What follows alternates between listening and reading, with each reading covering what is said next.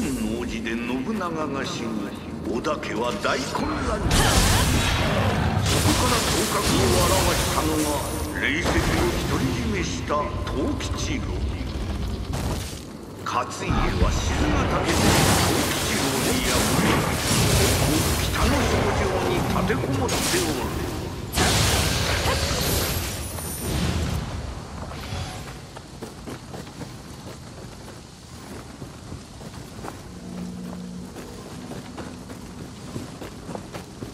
やはり兄弟じゃ。信長と似た気を感じるの。どうやらお市は勝家と共に天守に逃げ込んだようじゃ。急ぐのじゃ。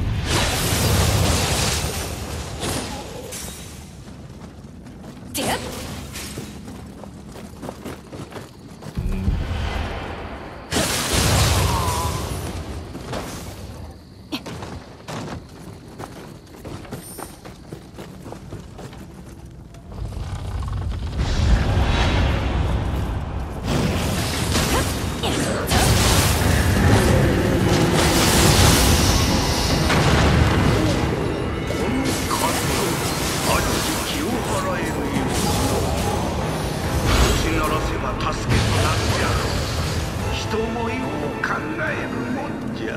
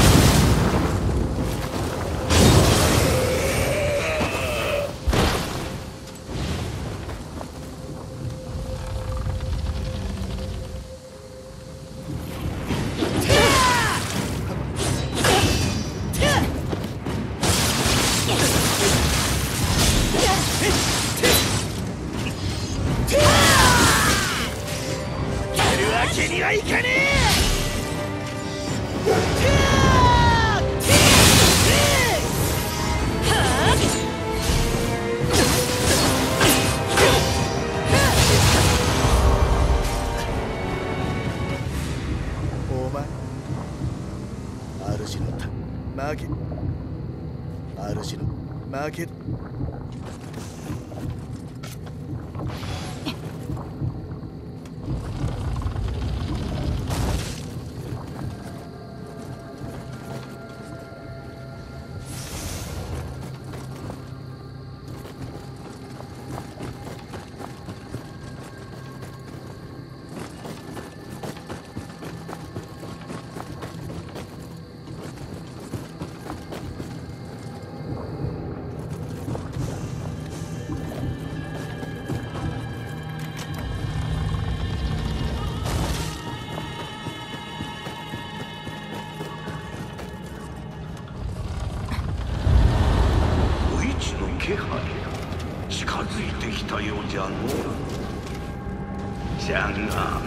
と一つ大きな気配が。気をつけるのじゃぞ。